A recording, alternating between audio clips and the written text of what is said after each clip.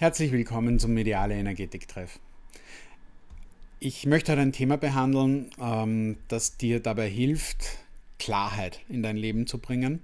Und ich habe das Thema ja schon öfter behandelt, ähm, aber diesmal möchte ich es ein bisschen anders angehen. Und zwar vor allem über die innere Struktur, die innere Ordnung, die innere Klarheit.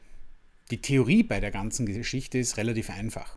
Wenn ich klar wahrnehme und strukturiert wahrnehme, was für mein Leben die wesentlichen Schritte sind, was für mein Leben die wesentlichen Themen sind, dann kann ich wirklich peu à peu mich immer erweitern, weiter werden, klarer werden, größer werden und dadurch habe ich auch mehr Abgrenzung nach außen hin und so fällt dann auch automatisch der Stress den ich eventuell von anderen mitnehme, weil die ihre eigenen Glaubenssysteme haben, ihre eigenen Glaubensmuster haben, da fällt dann auch dieser Stress mehr von mir ab und, und ich kann besser mich um mich selbst und um die Themen kümmern. Das hat jetzt nichts mit egoistisch sein zu tun, sondern da geht es einfach nur darum, dass ich klar bestimme, was sind meine Prioritäten. Und die können natürlich auch in der, in, der Versorgung oder der Hilfe von, von anderen liegen. Sagt ja keiner was dagegen. Aber es sollte die Kraft immer aus dir kommen und eben nicht von außen aufgezwungen werden. Das heißt, wenn jetzt jemand kommt und sagt, naja, kümmere dich um mich und schau auf mich, das, das solltest du schon, das, das, ähm, dazu bist du verpflichtet aus irgendeinem Grund, dann ist das okay, wenn du das machst, aber nur weil es wirklich dir entspricht und nicht weil es der andere jetzt sagt. Denn alles andere würde dich auf Dauer wahrscheinlich schwächen oder sogar krank machen oder wütend machen oder Stress machen. Deshalb ist so diese innere Ordnung, innere Struktur gut. Und diejenigen, die meine Astrologie-Vorträge ja gehört haben oder da sich ein bisschen auskennen, wissen ja, dass der Saturn, der ja für Struktur, Ordnung, das Lehren eigentlich verantwortlich ist, also der kosmische Lehrer, der kosmische Zeigefinger, der Du-Du-Finger, ähm, der spielt da eine große Rolle und ist im Astrologischen auch da die Entsprechung zu dieser Ordnung, zu dieser Struktur, zu diesem Inneren. Und dieser Saturn wird uns, und das werde ich in, ähm, das werde ich demnächst mal bei einem Video oder vielleicht habe ich es dann schon gemacht bei einem Video, wenn das Video heraus ist, werde ich mal im Astrologie-Vortrag für 2021, wenn ich das mal angehe, werde ich da noch genauer darauf eingehen.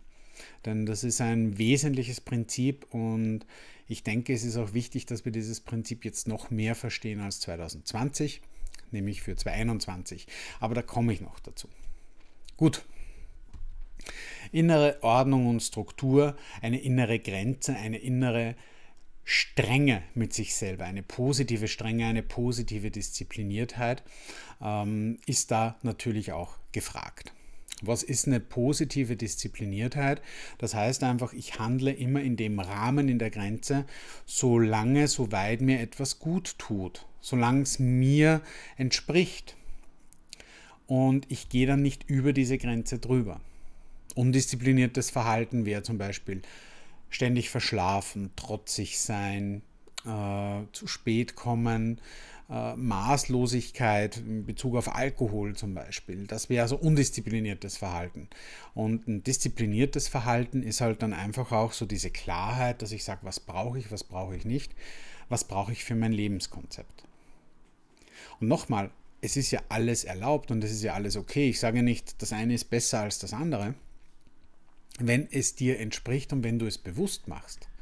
Wenn du es allerdings unbewusst machst, die ganze Geschichte, dann wird es zum Problem. Gut, dann wünsche ich jetzt mal viel Freude und entspannende Momente bei der Meditation zur inneren Klarheit, Struktur, zur Abgrenzung und zum Stressabbau. Und das beginnt jetzt gleich einmal als Vorbereitung in einem hellblauen, wirbelnden Licht.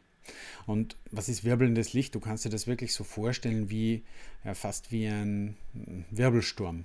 Äh, aber ein angenehmer Wirbelsturm, kein kein Hurricane, der dir gleich das, den, den, das Toupet vom Kopf, vom Schädel fegt, sondern ein angenehmer Wirbelsturm, sagen wir mal so. Ein, eine angenehme Brise nennen wir es so. Und diese angenehme Brise stellen wir uns jetzt erst einmal vor und visualisieren wir über dem Kopf, so über dem Scheitel, in hier in etwa. Ja, so, diese Ebene wäre das da, also da drüber, genau. Und da stellen wir uns jetzt mal so einen blauen Hellblau, stellen wir uns mal hellblau vor, und dann hellblau in Bewegung. Hellblaue Bewegung. Und diese hellblaue Bewegung, und jetzt kannst du schon die Augen schließen, diese hellblaue Bewegung dreht sich in einem Kreis.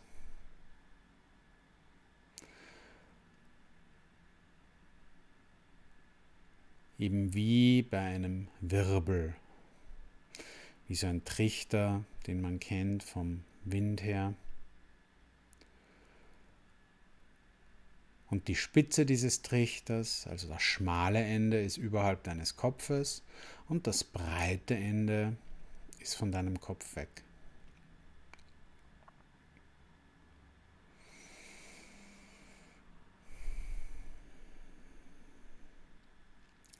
Und das, was du jetzt visualisierst, ist die göttliche kosmische Ordnung. Die göttliche kosmische Ordnung, das göttlich-kosmische, die Bestimmung, wenn du möchtest. Und dieser Bestimmung kommen wir nicht aus. Das ist das, was einfach ist. Und das, was ist, meint's gut mit dir.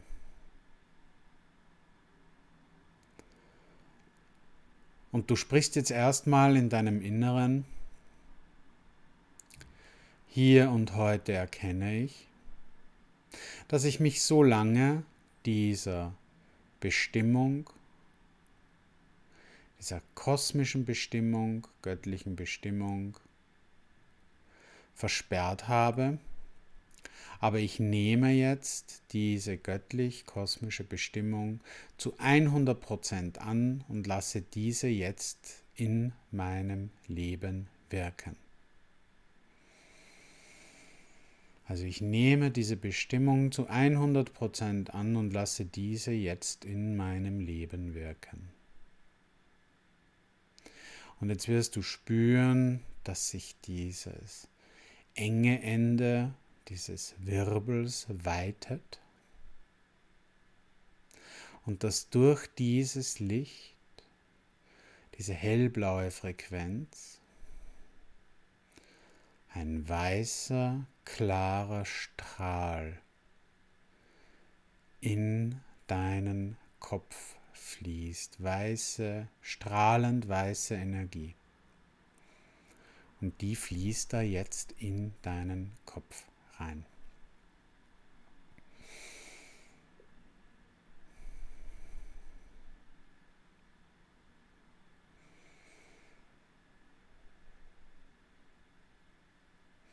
Und du lässt jetzt diese Energie einfach mal fließen.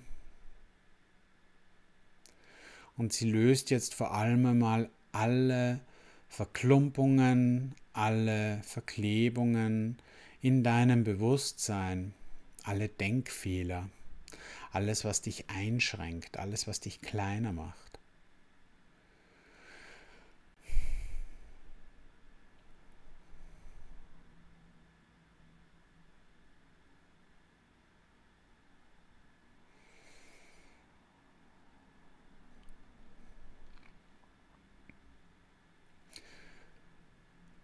Überall dort, wo du womöglich gegen diese höhere Bestimmung, gegen diese göttliche Ordnung noch ein bisschen angekämpft hast. All diese Gedankenmuster werden jetzt gereinigt und transformiert.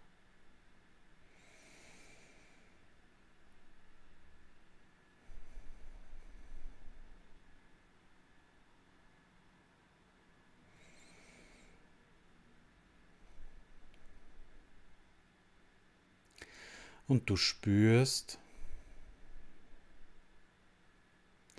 dass sich diese oberste Schicht deiner Widerstände jetzt mehr und mehr löst und reinigt. Und zwar nicht auf eine unangenehme Art und Weise, sondern das wird ganz weich, hell und klar.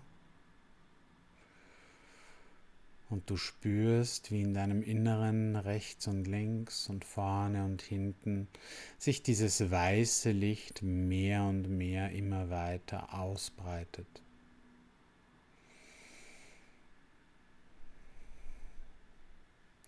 Und du spürst auch, dass wenn du zu sehr im Kopf gewesen bist, zu sehr nachgedacht hast immer, dass sich jetzt da wirklich einfach, als würde dein Kopf kleiner werden, als würde dein Denken kleiner werden. Und dass es auf die Größe sich jetzt anpasst, die dir gut tut auf das richtige Maß. Mein Bewusstsein, mein Verstandesdenken gleicht sich jetzt auf das für mich optimale Maß an. Das kann größer werden, das kann kleiner werden, aber es passt sich jetzt auf das für dich optimale Maß an.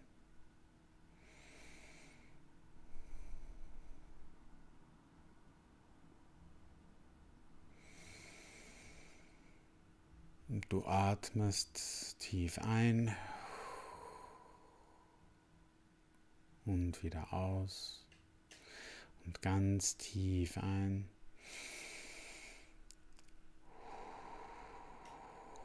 Und wieder aus. Und du erlaubst dir jetzt, dass du wirklich spürst, wie sich dein Denkvorgang genauso anpasst, wie es für dich optimal ist. Und während jetzt dein Gedankenfeld schrumpft vielleicht, erwacht ein anderes Feld in dir und das ist das Feld deiner Intuition. Denn es gibt so dieses rationale Wissen, es gibt das emotionale Wissen, es gibt dieses intuitive Wissen. Und das gleicht sich jetzt aus. Das heißt, deine Intuition symbol, symbolisiert durch dein drittes Auge. Das reinigt sich jetzt auch in diesem weißen Licht der Bestimmung und du versprichst, dass du deine Intuition nicht dazu benutzt, um das, was bestimmt ist, zu hinterfragen oder etwas auszutricksen, sondern du nutzt deine Intuition einfach nur für die für dich optimalen Sachen. Das heißt, es wird nicht der göttliche Zeitplan, die göttliche Autorität angezweifelt, sondern ich benutze meine Intuition im Einklang mit der göttlichen Autorität der göttlichen Bestimmung, dem göttlichen Zeitplan.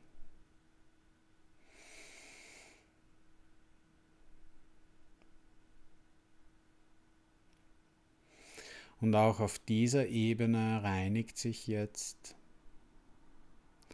dein Bewusstsein und gleicht sich optimal für dich aus. Und optimal für dich heißt im Einklang mit deinem höheren Selbst, also deinem Innersten.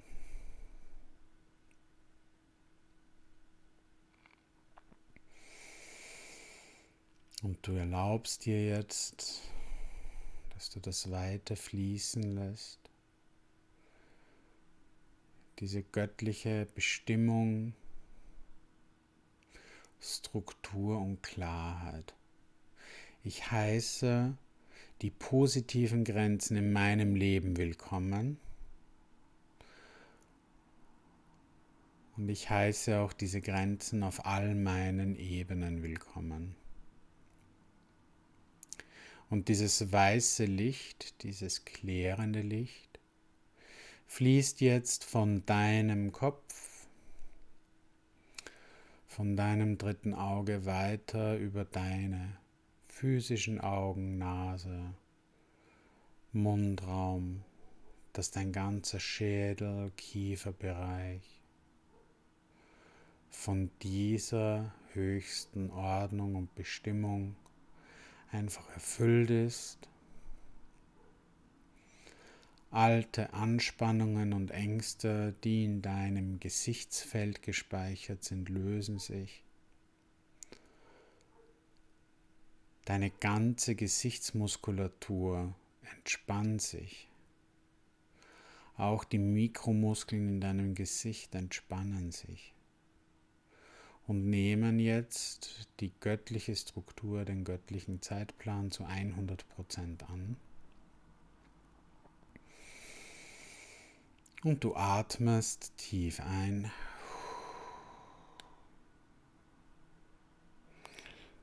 Und wieder aus.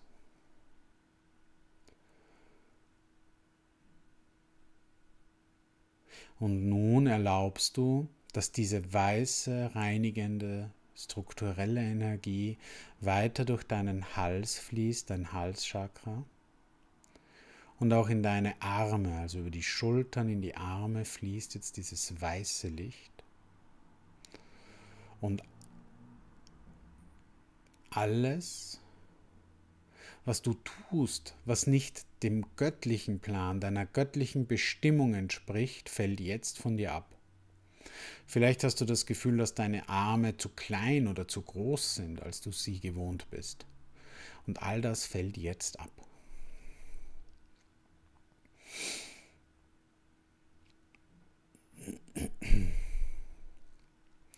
Und du spürst, dass sich deine Arme und Schultern angleichen und dass du 100% zu dir und deiner Bestimmung stehst und dass Handlungen, die jetzt nicht zu dir gehören, einfach von dir abfallen.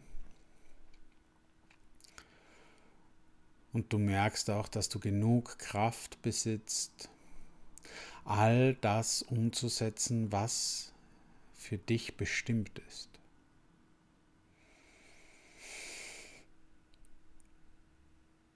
Und du atmest tief ein und wieder aus und tief ein und wieder aus. Und du spürst jetzt, dass diese Struktur jetzt mal deinen ganzen Kopf bis zu den Schultern, die Arme einfach schon durchinspiriert hat. Also du spürst einfach jetzt schon diesen energetischen Fluss.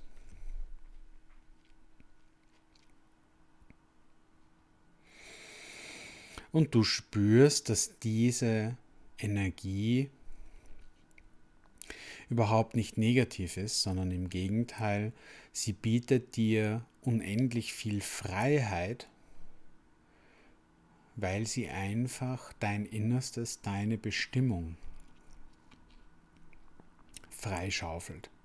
Also du stehst da hundertprozentig jetzt zu dir und deiner Kraft und erlaubst dir auch, dass diese Energie jetzt weiter fließt in deinen Brustbereich, in deinen Herzensraum.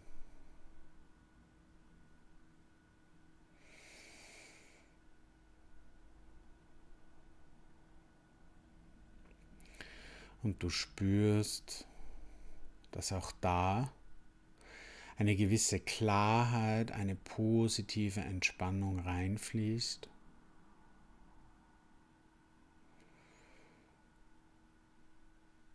Und du spürst, dass du weicher, weiter und würdevoller wirst.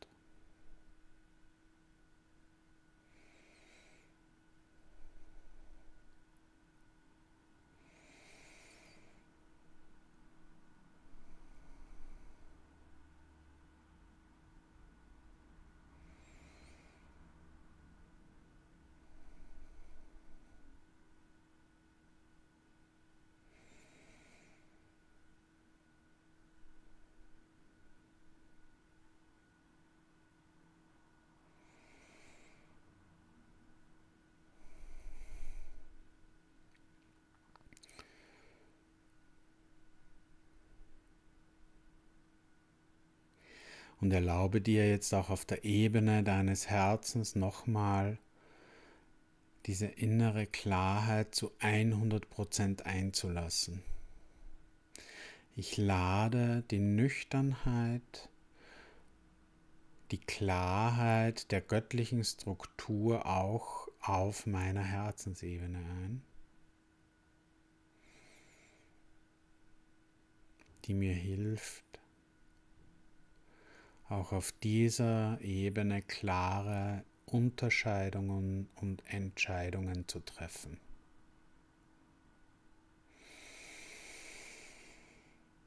Und du spürst, dass du auf der einen Seite stabiler wirst in deinem Brustraum, auch so die obere Teil, die, der obere Teil der Wirbelsäule wird stabiler, klarer. Aber gleichzeitig kriegst du auch mehr Flexibilität rein. Und nun erlaubst du dieser Klarheit, dieser göttlichen Vorbestimmung auch in deinen Bauchraum, in die Magengegend zu fließen.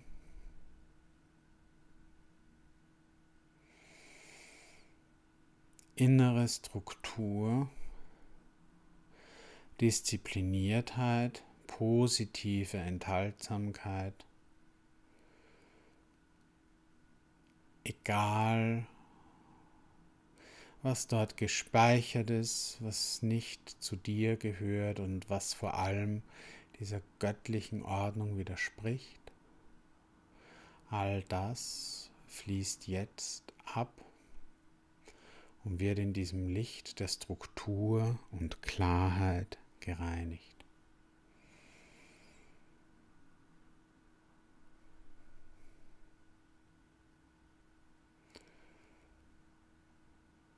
Und spür jetzt mal,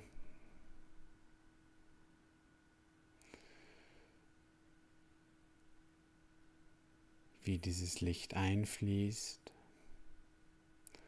Wenn du das Gefühl hast, es fließt vielleicht noch nicht ganz so, wie es könnte, dann bitte jetzt ganz klar nochmal darum, dass du sagst, ich lade die göttliche Bestimmung in meinen Bauchraum, Magenraum ein. Ich lade die göttliche Bestimmung in meinem Bauchraum, Magenraum ein.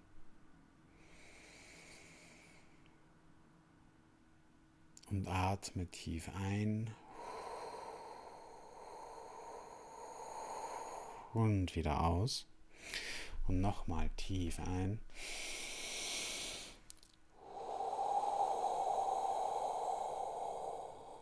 und wieder aus.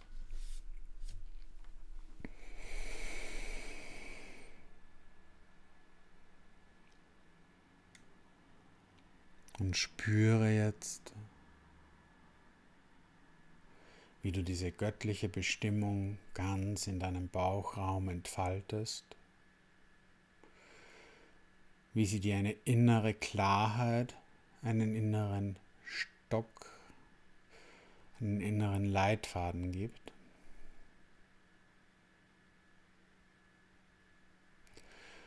Und jetzt fließt diese Struktur Klarheit, diese Ordnungsenergie weiter in dein Becken, Nabel-Beckenbereich.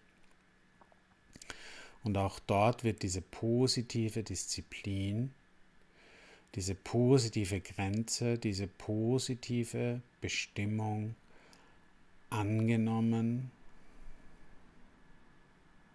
und jeglicher unbewusste Kampf gegen Dinge, die du nicht in der Hand hast, die du sowieso nicht verändern kannst, die reinigen sich jetzt und lösen sich da jetzt.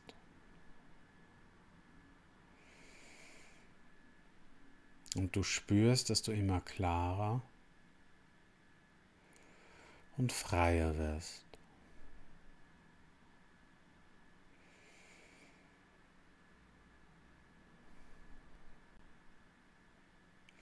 Und letzten Endes fließt jetzt diese klärende, nüchterne Energie von deinem Becken aus in dein Wurzelchakra und von dort in deine Oberschenkel, Knie, Unterschenkel, in die Beine. Und alle Wege, die dir nicht bestimmt sind, lässt du voller Freude und Vertrauen gehen. Und du konzentrierst dich ganz auf deine inneren Wege. Und während diese Energie jetzt von deinem Scheitel bis zu deinen Fußsohlen durch dich durchfließt, diese Reinigung vollzogen wird, spürst du, dass du in dir eine Klarheit und eine gewisse Isolation und Einsamkeit auch spürst. Und die lass jetzt einfach mal zu. Diese Einsamkeit, dieses Abgeschottetsein von allem, was außen ist. Egal, ob du Kinder hast, Familie, Partner, du bist jetzt alleine. Und du entsprichst jetzt energetisch dem Bild des Eremiten im klassischen Tarot, der einen Stock hält und eine Laterne über seinem Kopf hält, in der Höhe in etwa beim dritten Auge.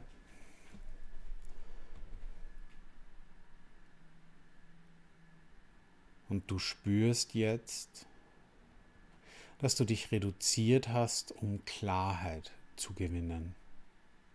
Und dass dieser Anteil der positiven Reduktion jetzt Teil von dir ist und in dir wieder aktiviert wird. Und dieser Eremit macht dich auf der einen Seite bewusster, klarer,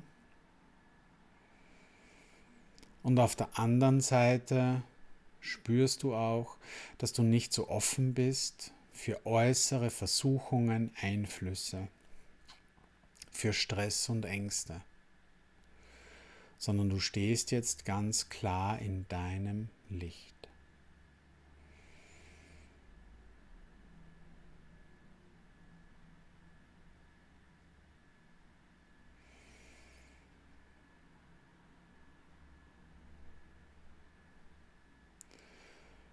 Und bleibe jetzt etwas in dieser Energie. Spür auch mal eine gewisse Unbeweglichkeit, eine gewisse Fixiertheit.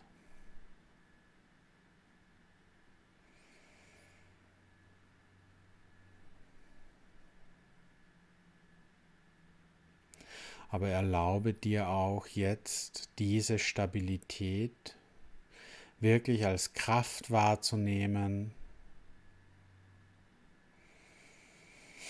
und nicht jetzt als Einschränkung.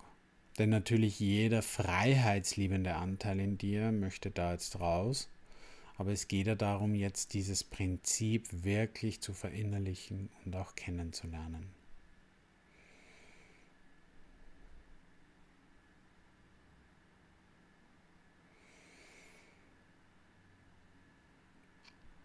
Und spür ganz bewusst deine beiden Beine am Boden, links, rechts, aber spür auch als dritten Standpunkt am Boden den Stab, den Stock des Eremiten. Das heißt, du hast drei Stützpunkte auf der Erde. Drei Stützpunkte.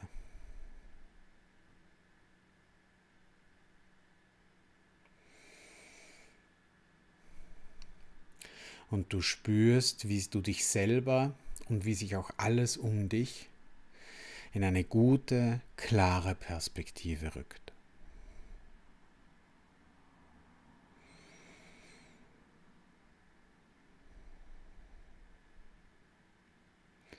Und in dieser Energie, in dieser Perspektive bleibe etwas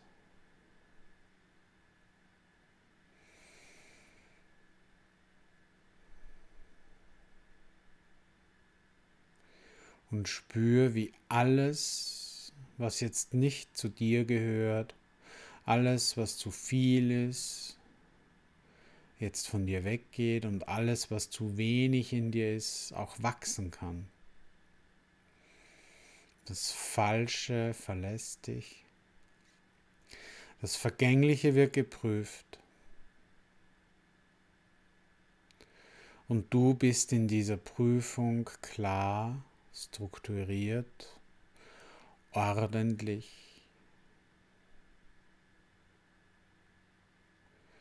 Du bist in dir und um dich herum in Ordnung.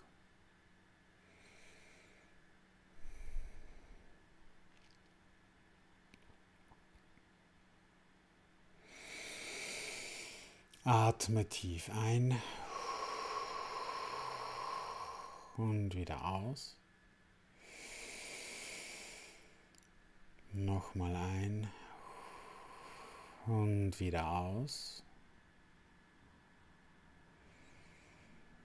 Und halte jetzt nochmal ganz bewusst diese Spannung.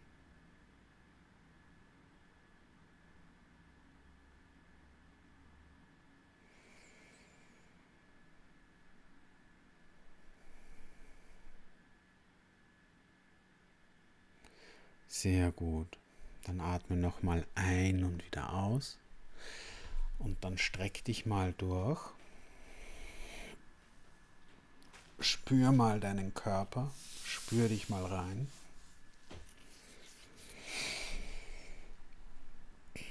Spür nochmal die Klarheit dieser Reduktion, die Klarheit die diese Ordnung bringt. Und spür auch mal, dass jeglicher Stress, jegliche Ängste, alles, was da jetzt nicht zu dir gehört, einfach abgefallen sind. Durch Ordnung, durch das, dass du deine Bestimmung auf der göttlichen Ebene her annimmst.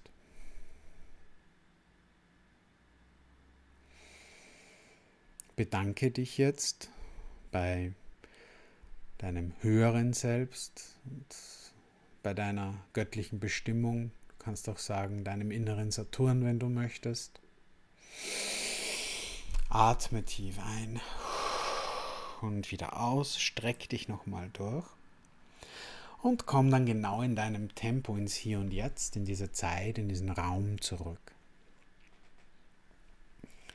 Lass dir noch Zeit, Komm ganz entspannt zurück.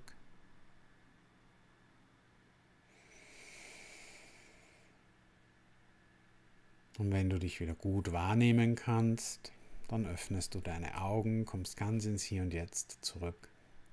Du kannst dich natürlich auch mit dieser Eremitenkarte noch beschäftigen. Und das ist in etwa so die Energie, die wir uns heute hergeholt haben. Wie gesagt, Ordnung, Struktur, Vorherbestimmung. Und dadurch, dass du deine, das, was dir bestimmt ist, annimmst, löst du natürlich auch Verwicklungen mit dem Außen. Gut. Das war's für heute. Du kannst die Meditation natürlich gerne immer wieder wiederholen, gerade wenn du da Themen hast. Und ich werde demnächst noch mehr über Saturn und seine Rolle auch 2021 sagen. Ich würde mich freuen, wenn du mir ein Like da lässt oder den Kanal abonnierst.